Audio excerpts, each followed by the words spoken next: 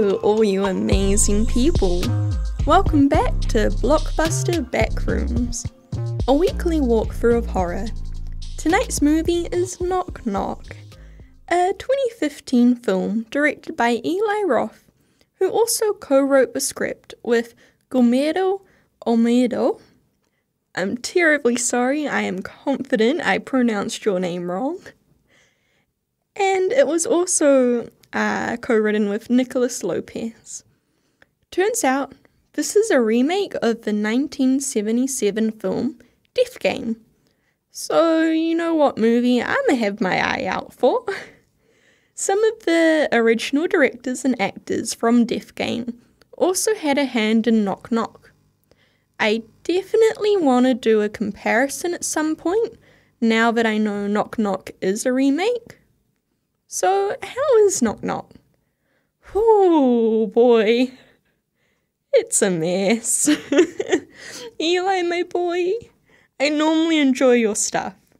You were my childhood spook man, giving me things like Hostel and the Cabin Fever remake. But jeez, what happened here? It's one of the only films that's been turned off in my house albeit at the time my boyfriend was there watching it with me, and he won't sit through a movie he isn't enjoying. Just before we get into it all, I'm gonna give my normal spoiler warning. This is a walkthrough and judgment of the film after all. And while I don't normally do this, I'd like to give a trigger warning for listeners as there's a fair amount of talk around rape and pedophilia. No pedo shit happens in the film, but it's a very commonly discussed subject, and I know that that alone can be a huge turn off for people. With that said, let's unpack it all, shall we? We start the movie off with Evan, played by our main man Keanu Reeves, and his wife making out in bed. We find out that Evan's just had a surgery on his shoulder and before anything spicy can happen, their kids walk in. It's Father's Day, and they've got cake and presents. Evan opens it, and it's an alarm clock with the face decorated by his kids. The acting feels a little strange here, not gonna lie. I'm not entirely sure on what it is. If it's the child actors not being great, or if it's how the adults are speaking to them. I know you speak to kids differently, but still, it feels odd. I gotta say though, the cake looks damn good. Evan pretends to be a monster and chases the kids out of the room. He wants to finish what they started with his wife, but she says no, because the kids are up now. Our man's kinda bummed, saying that it's been three weeks. His wife gets annoyed, exclaiming that she can't keep everyone happy between the kids and her exhibition work. Evan apologizes, explaining that he didn't want to start a fight, and his wife says that they can finish when they get back. We see everyone having brekkie. We meet Monkey, the super cute, super sweet puppy, and Lewis, who's helping the mum with her exhibition work. We learn vaguely about Evan's hurt shoulder. He was trying to impress some girls. He says he was just trying to help them, and his wife's just like, yeah, those poor helpless 25 year olds. I honestly don't know what Evan could have done to hurt his shoulder so bad while helping peeps and making the mum feel like he's flirting. Part of me likes to imagine he was acting like a primary school kid trying to impress the other kids. You know, when you try and carry as many chairs as you can to impress everyone with how strong you are.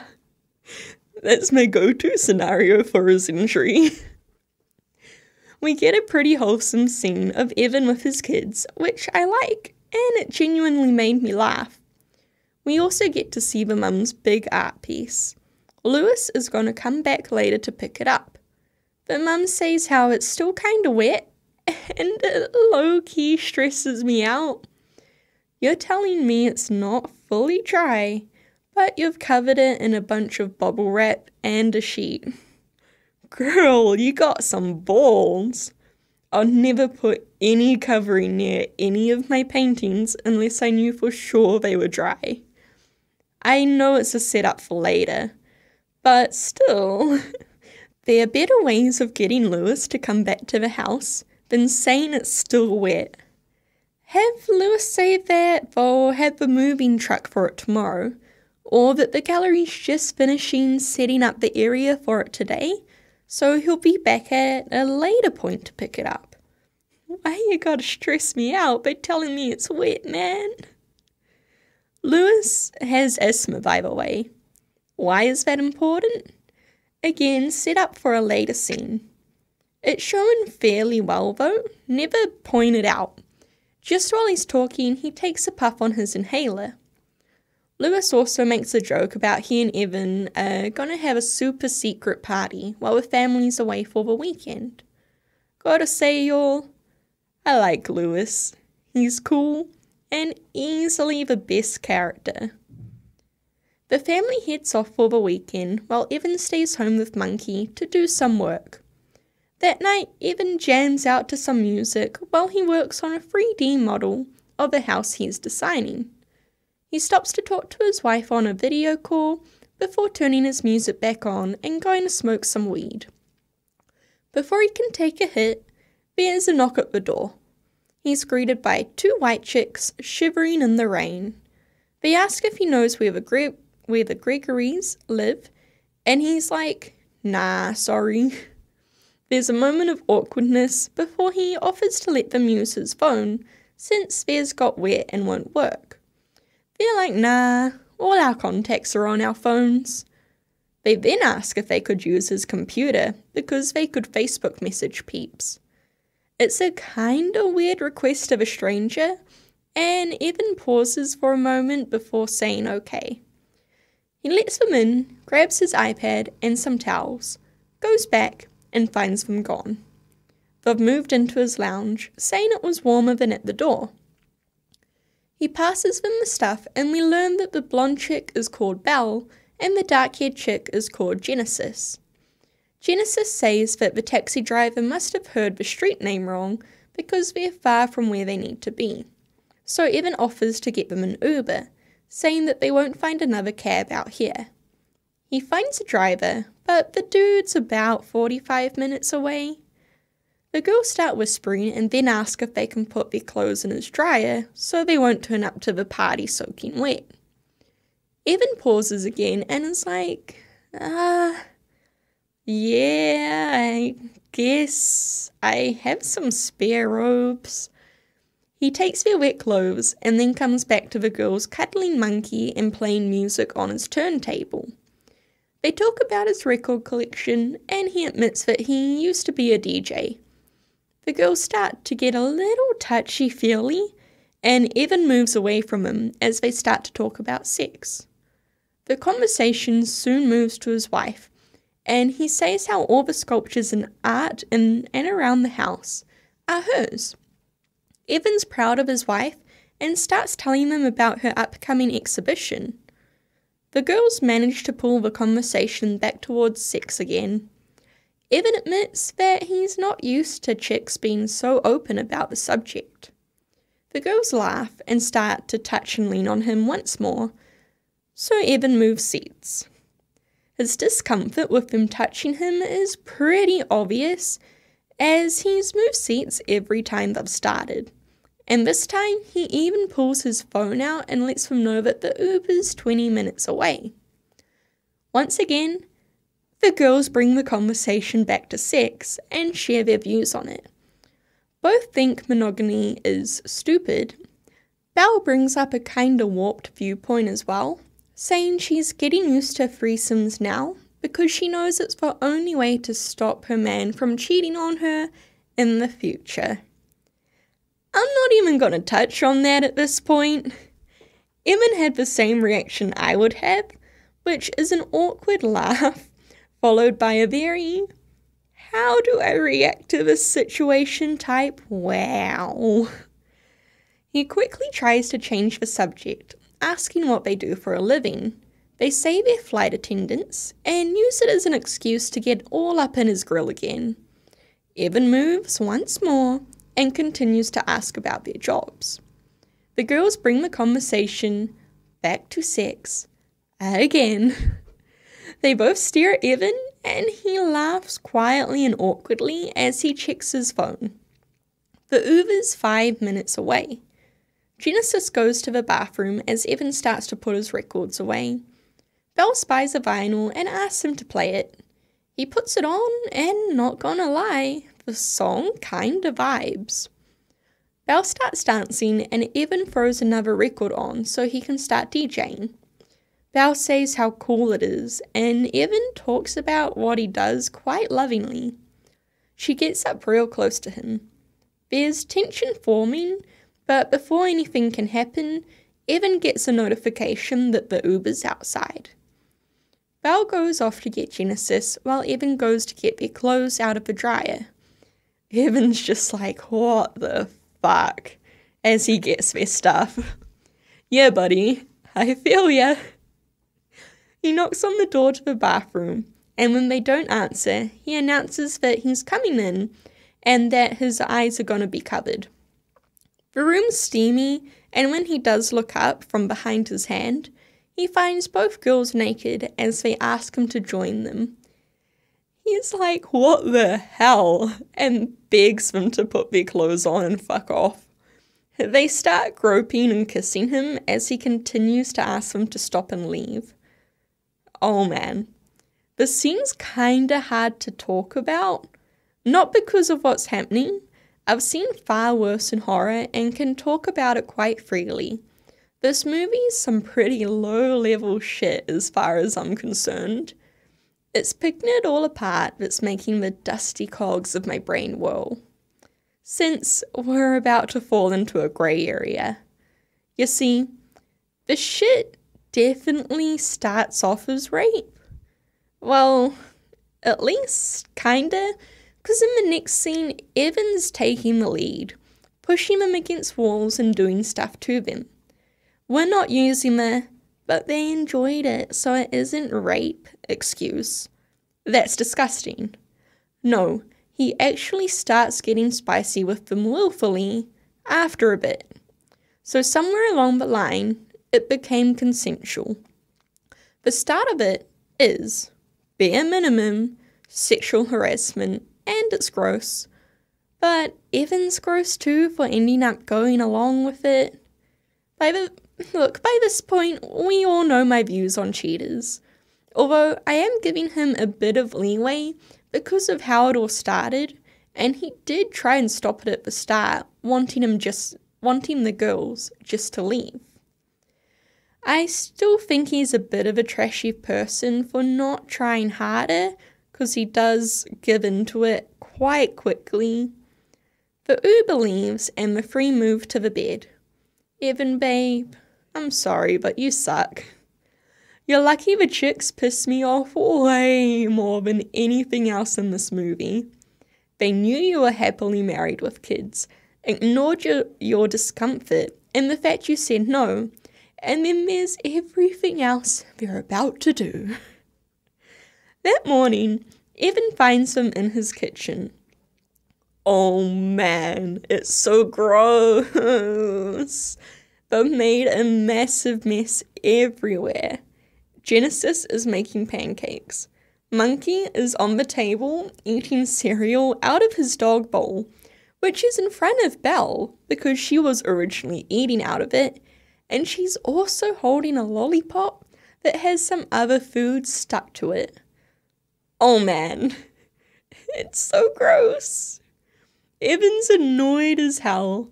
He picks up Monkey and offers to take them home. He just wants them out. They're real assholes to him. Evan gets a call from his wife and takes it outside. The two girls are being dicks at the window, but Evan keeps them out of camera shot. His wife asks if he's okay, and he says that if he can get his work done fast enough, he can drive up. She tells him not to stress about it and that she understands.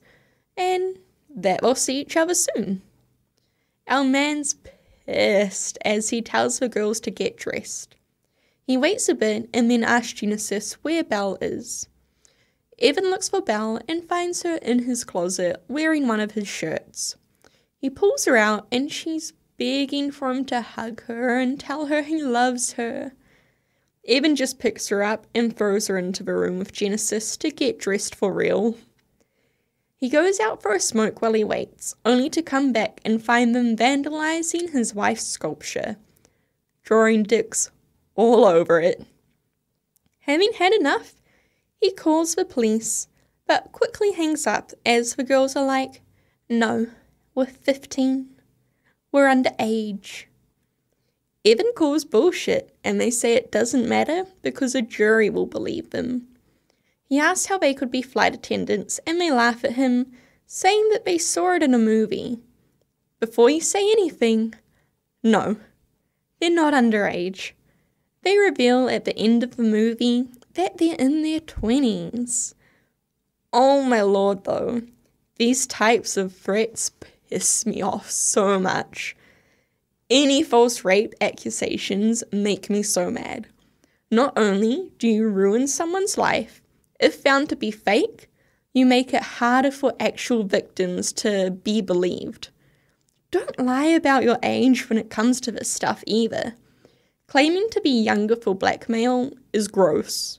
And a PSA to any younger listeners don't pretend to be older to get with someone.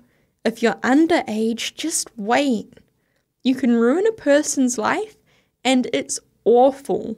Not to mention, if it's obvious you're lying, the discomfort for the older person is immense. Don't do it. And I swear to God, I better not have to tell you damn ass adults to go to not go near kids with this shit. Okay, rant over. Sorry. Let's continue on. Evan asks them what they want from him and offers them money.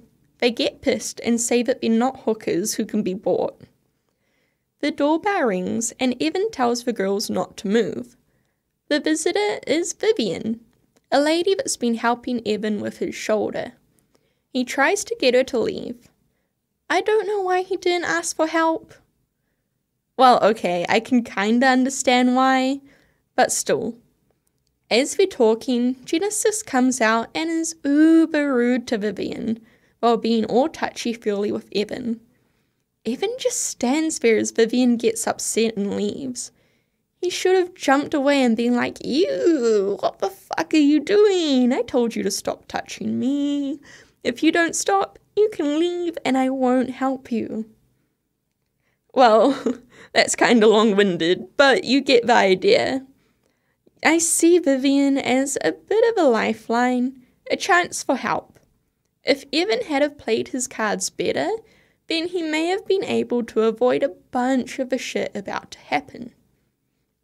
Inside, the girls are fucking around on his turntable. He pushes Belle back, unplugs it, and starts chasing the girls around the room, while Genesis yells about what people would think if they knew what he'd done. Honestly, at this point, I would have punched a bitch. or hit them with one of the chairs they pushed in front of me. To be honest, for the rest of the film, I was trying to think of a way Evan could hurt these girls without it leaving a lasting mark for them to show anyone. Our man does end up choking Genesis though, and I was honestly cheering him on. Belle, ex- Belle actually looks worried too. What did you think was going to happen, you idiot? Evan doesn't choke her for long, and Genesis gasps for air, saying she knew he couldn't do it. He picks up a landline and calls the cops again. Genesis makes it hang up and asks for a ride. Evan drops them off outside a house and leaves. He goes home and cleans up the mess they made, even managing to get the sharpie off of the sculpture. That night, when he's doing work, he hears a noise. He finds one of his family photos smashed on the ground. He bends down to pick it up and Genesis knocks him out with one of his wife's sculptures. Evan wakes up tied to his bed while Genesis plays with his wife's makeup. He manages to get his phone out of his pocket and hides it underneath him as Belle walks in wearing his daughter's school uniform and panties. She calls Evan daddy as she climbs on top of him. He tries to talk Belle into untying him by playing into her fantasy a little bit. She seems to think about it, but Genesis tells her to ignore him. Belle starts to go off on a tangent, and it seems she's talking about her past, which kinda explains why she's messed up to a point of doing all this, as well as it explaining her daddy kink too. It sounds like she was an actual victim as a kid. I think out of the two girls, she's definitely the most likable. She's not as much as a hypocrite as Genesis. She's more reasonable, and looking at her face doesn't annoy me. Anywho, Belle gets upset, still imagining Evan as her dad, or perhaps stepdad, and she starts hitting him, screaming and asking why he did such awful things to her. Evan manages to calm her down just as his phone starts to go off. It's his wife calling in a video chat. The girl wants want to answer it with Evan's wiener out on camera. Evan begs him not to do it because it could be his kids on the other end of the line and promises to do whatever they want if they don't answer the call. They decide not to answer it, and Genesis instead starts to record them as Belle jumps on Evan. Okay, I say jump because we know Evan's not hard right now. So she's just pretending to ride him when really she's just sitting on a flaccid peepee. Genesis leaves to get food, and Evan pretends to be into it while wiggling his hand free from one of the restraints.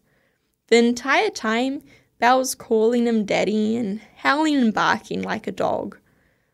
Not to kink shame if anyone listening is into that, but god damn did I cringe when I was watching that. Evan breaks his hand free and pushes Belle off of him. She hits her head on the floor and whimpers while Evan unties himself. He does his pants up, sees Genesis eating his Father's Day cake, and runs at her. The idiot just watches as Evan goes to choke her again. He probably wouldn't have stopped this time either. She stabs the fork she's holding into the stitching from his surgery. Evan screams and drops to the floor as she pushes it deeper, and our man actually full on blacks out from the pain. Belle runs over and actually looks kinda worrying, not gonna lie. He wakes up, tied to a chair, as the girls pretend they're running a game show. They introduce Evan and are like, a father of two, possibly three, four, as they rub their tummies. Ugh, it makes me so uncomfortable. I hate baby and pregnancy stuff, and this is it. They put his headphones on him, and whenever he talks in a way they don't like, they play static at top volume. Evan's like, Stop, stop, I'll go deaf, I'll go deaf. This is fucking serious. I could go deaf. And I love you, Keanu. But it comes across so stupid. Saying stop or it hurts would have been good enough. I can't tell how much of it is poor writing and how much is just bad acting or not caring. Because I know Keanu can act. I've seen him in shit like John Wick. But here, oh man. The girls start asking him questions related to pedophilia, like how far away from a school do you have to be, and stuff like that. Whenever he doesn't try to answer or answers wrong, they blast his ears. I just want to point out here that headphones are really easy to shake off your head if you try. Some real good strong headbanging will knock those suckers right off. Short of them being duct taped into place, Evan could quite easily get rid of them. He never even tries, though. Before they can finish asking their questions, Lewis is at the front door. They gag and cover Evan while sending a text to Lewis from Evan's phone. Genesis opens the door, pretending to be Evan's niece, while Belle hides Evan in one of the kids' rooms. Lewis is cool until he sees the fucked up sculpture. Genesis tries to play it off as Evan having messed it up. And like an actual kid, Bella's like, She said it wasn't us, when Lewis starts to yell a bit. Lewis uncovers the statue and freaks out even more as he takes a puff from his inhaler. God, I love Lewis so much. He knows these two did he knows these two did it and says he's calling the police. Genesis tries to seduce him, saying it could be their little secret. And Lewis, my great sweet Lewis, is like, and I quote, Bitch, you're barking up the wrong fucking tree. I'm from Oakland, ho. I know two kiddo assholes when I see them. I'm out here like, yes, boy, pop off tear into them.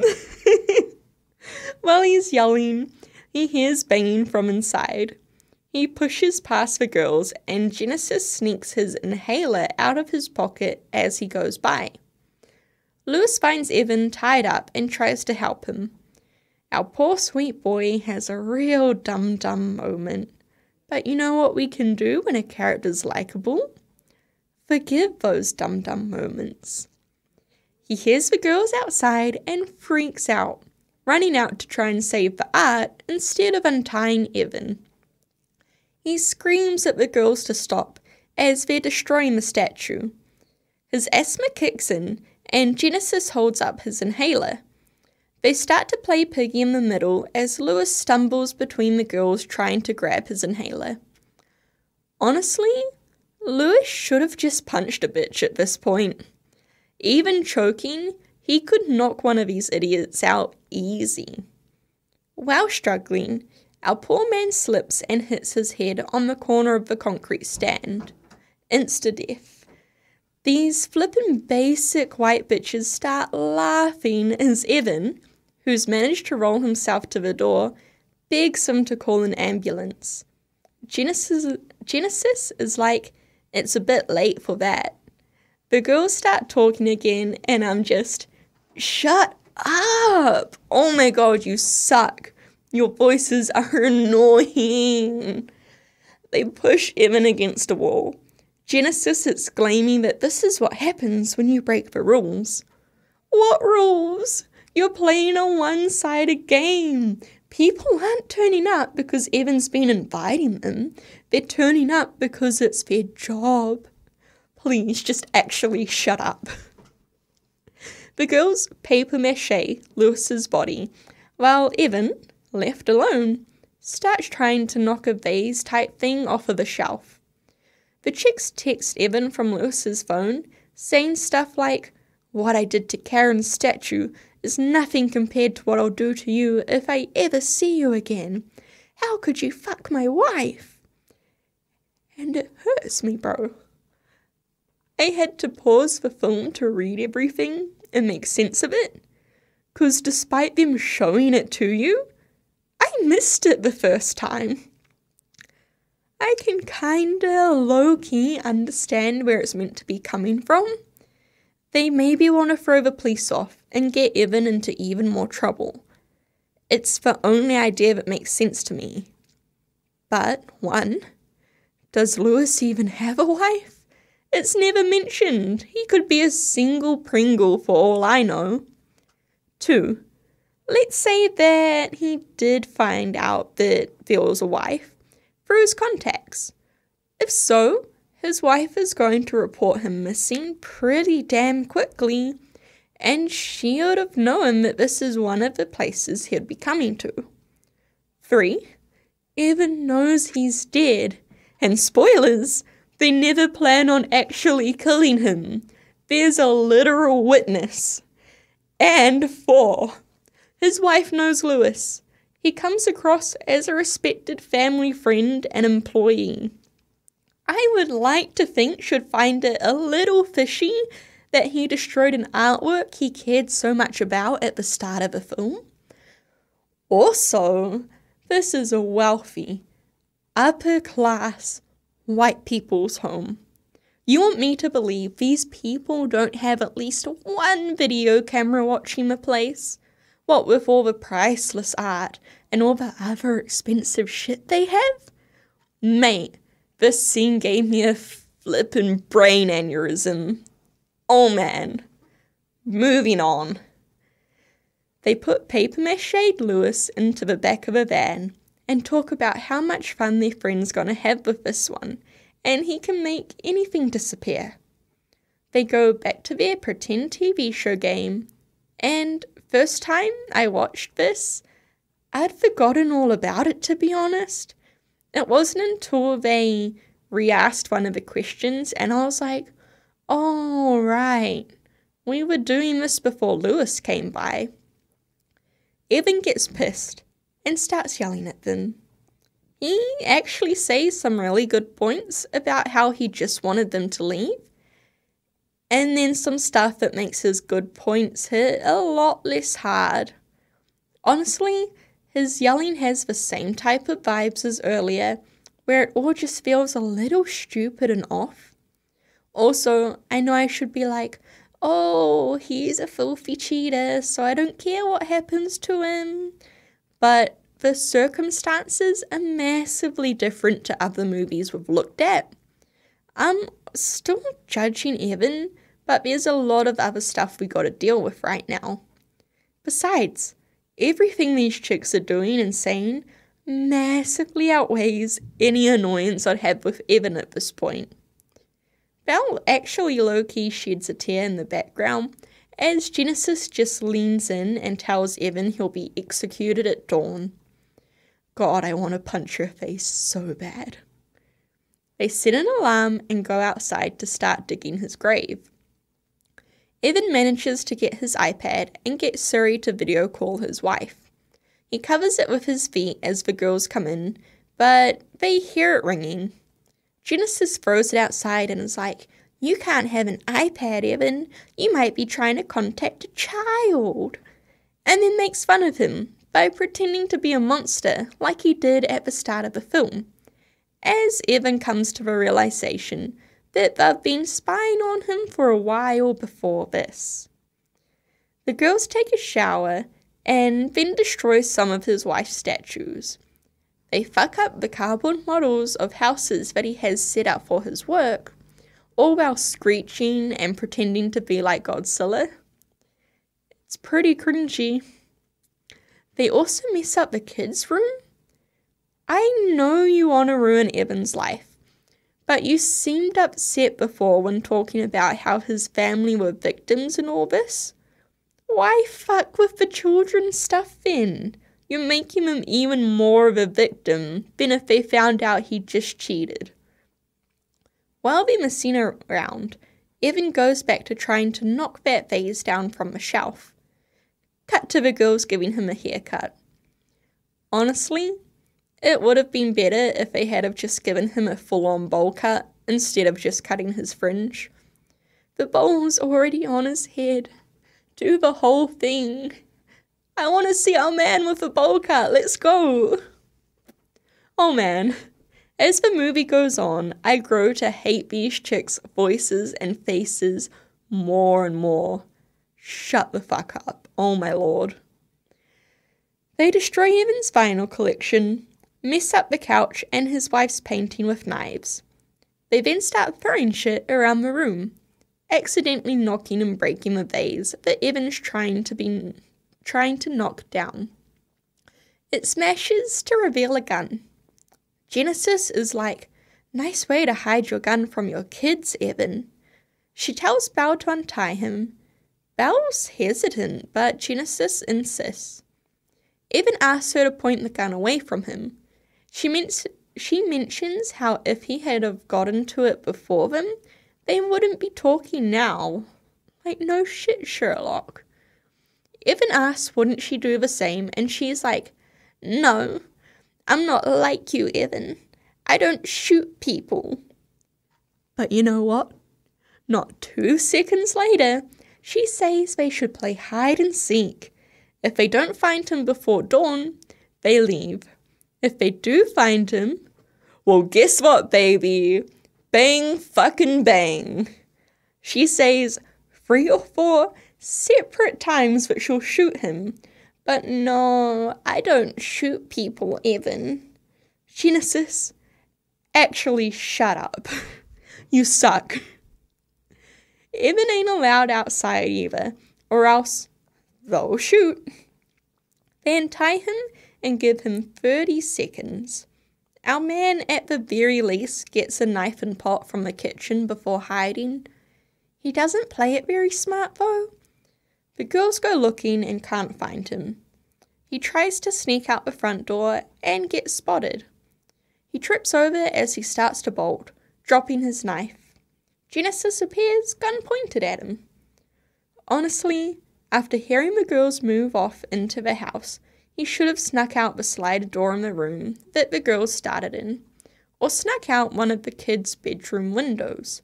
Front door is an amateur move, my dude. Anyway, Evan starts yelling, and Genesis tells him he can be as loud as he wants because they checked every house and no one's home. It's a pretty lucky coincidence that every house in the neighborhood is empty and has stayed empty the whole time. The morning comes and they roll Evan into the grave they dug before filling it in. They leave his head above the earth though. He begs them to not kill him, and they give him a lifeline, calling his wife so he can admit to everything he's done. The phone goes to voicemail, and Evan screams for her to call 911. The chicks pretend to hang up before admitting that they actually hung up the moment it hit voicemail. But what if the wife had actually picked up? I guess they would have just hung up anyway, but it feels like another pretty lucky coincidence. The girls grab a large carved stone and pretend to bring it down onto Evan's head, actually hitting it into the dirt next to him, laughing and saying how that it's just a game, how they can't believe he actually thought they were going to kill him. They say because he didn't say no, would have to go find someone else, and that people never say no. I'm sorry, what? Evan was pretty clearly saying no at the start. You didn't listen to him. If you don't listen when they simply say no, what do they have to do? Physically fight you off and throw you outside? That's a lot more than a ding dang no. What you did started off as low key rape before becoming truly consensual. How many people just went catatonic and didn't do anything? That's full on rape at that point. Don't be out here trying to argue with me either. If the end, if the genders were flipped, you'd be on my side. It goes both ways. Also, how many people have you done this to?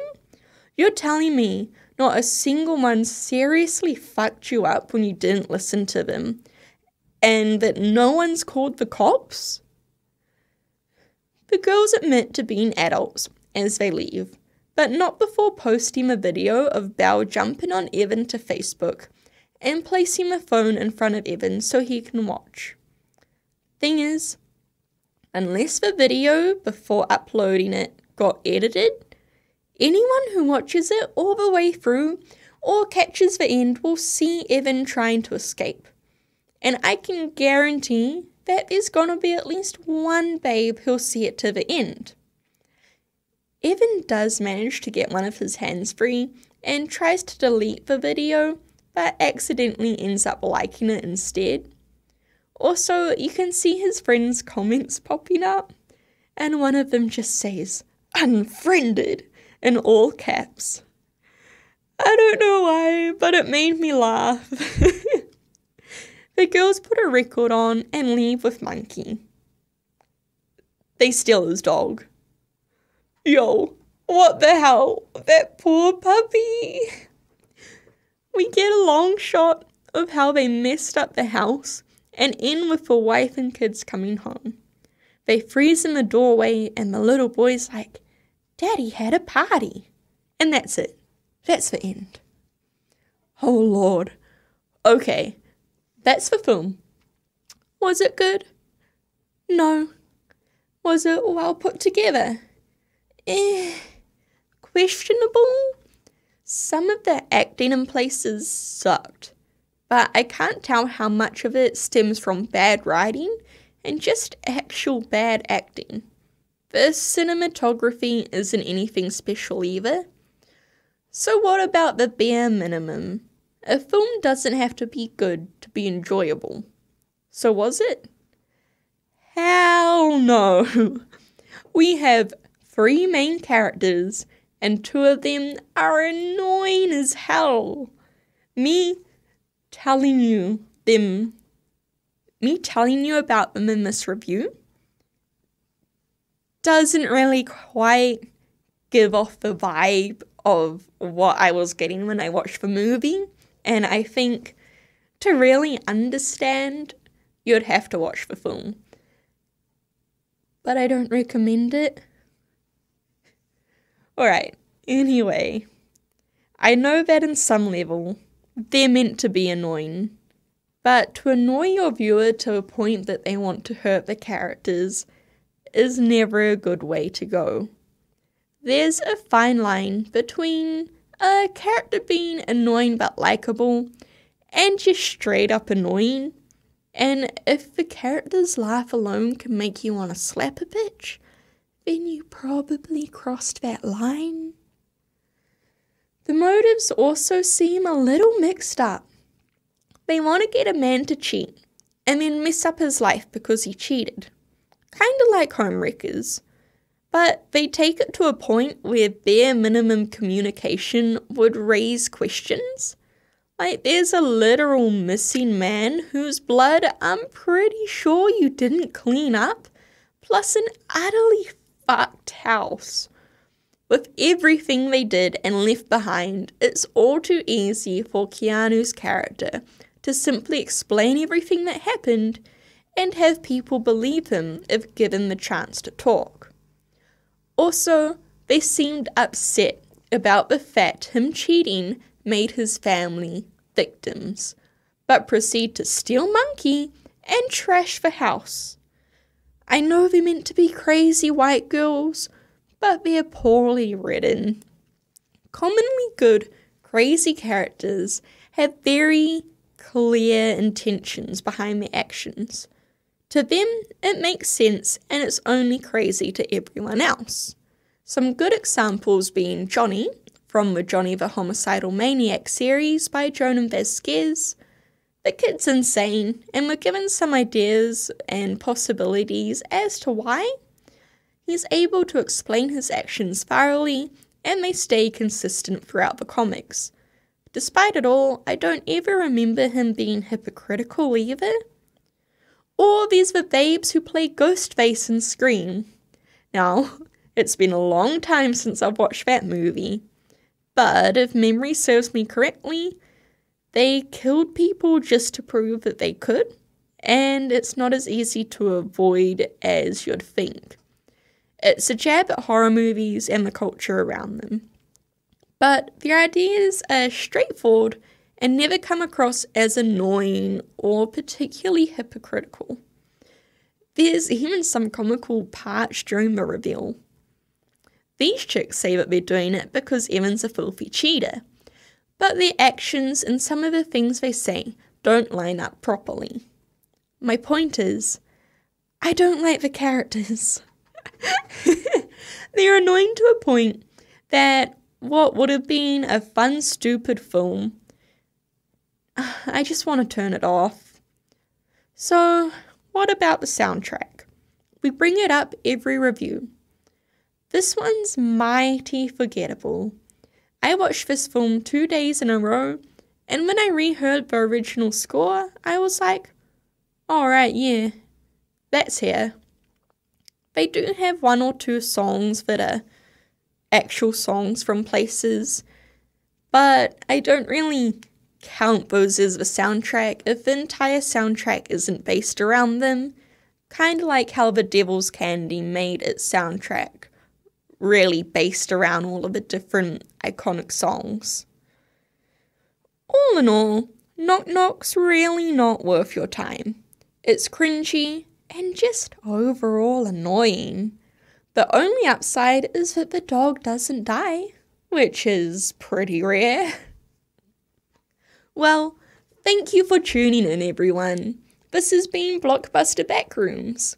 If you liked this episode and would like to hear more, all episodes are up on mpr.nz forward slash show forward slash blockbuster backrooms.